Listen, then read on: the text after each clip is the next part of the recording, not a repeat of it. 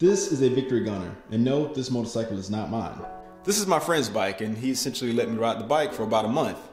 He is, I guess, the second or third owner of this motorcycle, and when he received it, this is how it came. So he did not do these mods to the motorcycle either. Now, I bring this up because in the last video, some of you mentioned how some of the modifications on this motorcycle aren't necessarily safe. So we're going to talk about that.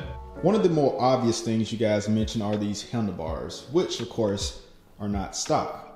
I was wrong when I mentioned what brand these handlebars were. I said witch doctors, but some of you corrected me. These are actually the mercenary bars by F&B Choppers. And they have a very pointy look to them. But I can tell you that even though they look very unsafe, well, they are unsafe, these are some of the most comfortable handlebars I think I've had on a motorcycle in quite a while. I'm gonna tell you why. See, I'm five feet 10 inches, and when I'm sitting on this, uh, I guess, death trap, it, uh, the uh, handlebars complement my height well, and I'm able to kind of relax when I'm sitting back versus being too far forward. The biggest concern with these handlebars is the pointiness of them. And of course, if there's something that ever happens, these handlebars can actually, I guess, prick you or stab you if the uh, the bike is for some reason you're pushed forward or the handlebars are pushed back towards you. I couldn't tell you why the previous owner put these handlebars on there, but obviously they could have been of a taller build or they just wanted something that looked more aggressive because most handlebars are not going to have pointy and sharp edges to them. But these handlebars, again, they're definitely comfortable and they can also be readjusted if these are not to your liking. Can you imagine just being rear-ended or something and you get pushed so far forward that your visor just goes straight through that or something like So definitely, I guess you could just roll these bars a little forward where they're not so pointed, but now it ruins the position where I was comfortable. Um, yeah, it wouldn't take much to roll them forward, but I don't know, it's just, it's just so comfortable. I don't know. Now, I personally think they look fantastic with this setup. It has that very aggressive styling with this big front wheel on the, on the front. And these handlebars tend to flow well with the lines of the bike. But at the end of the day, this is definitely not necessarily more style over function, but for me, like I said, at my height at five feet ten inches, this this setup, even though it looks dangerous, it fits me pretty well. Another more subtle modification to this bike are these little bitty signals right here. There's also one on each side mounted to the rear tail bracket. The problem with lights like these is not necessarily immediate, but being that these lights are smaller, that doesn't necessarily mean they're not brighter, but when you're comparing these to the standard DOT light, these are not gonna be as noticeable or bright as a standard DOT light. However, the previous owner, more than likely, they wanted that more discreet look to take away from that stock, bulky uh, turn signal look. So they ended up putting these on. And I guess you could say that this is more style over function because, of course, you still need a turn signal. But the problem that I think we're having right now, big time with these lights, is this motorcycle tends to keep blowing fuses. So the other day I changed out the fuse and it's essentially blew again. So somewhere down the line, there's possibly a short in this wiring, or it could be like a loose wire touching the ground and causing this thing to pop fuses. But again, style over function. Another more discreet thing that the previous owner did was take the reflectors off on the forks, also on both sides.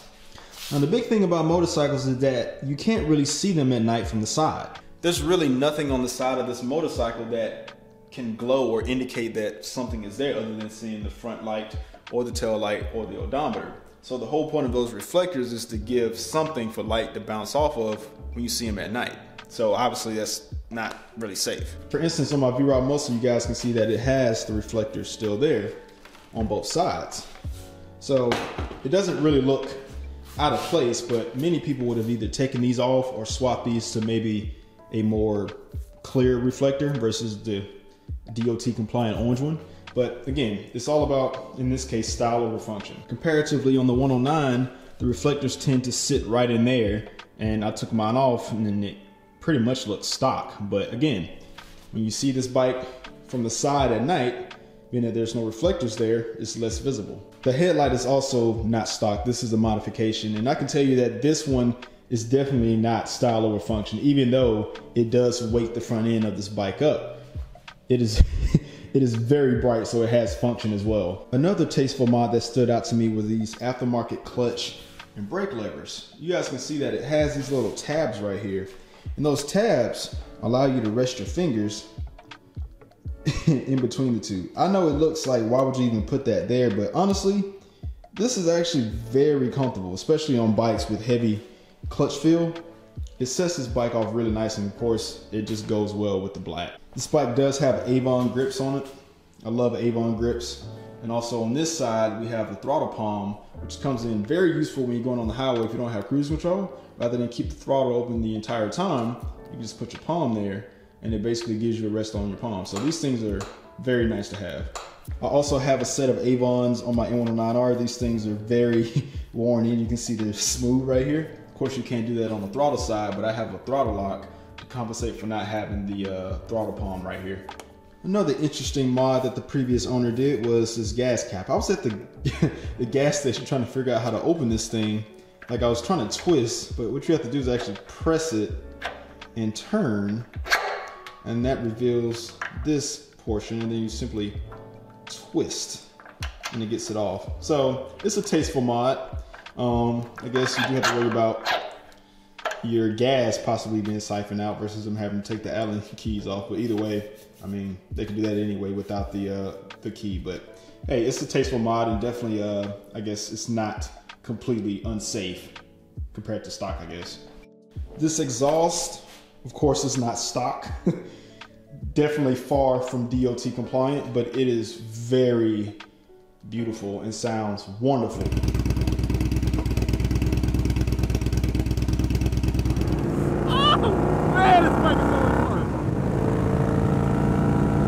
Oh man I am in trouble But the problem I've possibly had, or somebody could possibly have, is being burned by this midsection right here.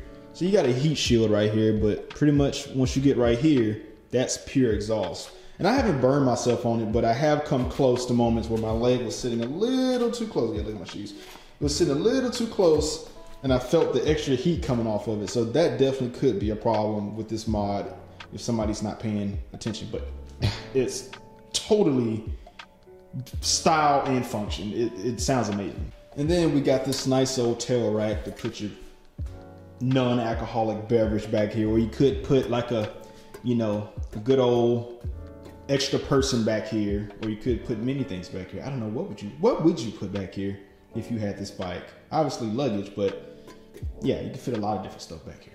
There's a bunch of other little tasteful mods that are done on this motorcycle, but my big question for you guys is if you bought this motorcycle with these handlebars, what would you do? Would you change them out or would you just leave it as is? Because of course, again, these are very pointy, so they could be dangerous. Like I can only imagine sitting at a stoplight and being rear-ended and then you fly forward, hopefully between the handlebars, or your visor ends up connecting with that, and that could be a very bad day, especially for me, coming from a guy that was punched in the face by a random pedestrian while riding on my motorcycle. So anything can happen.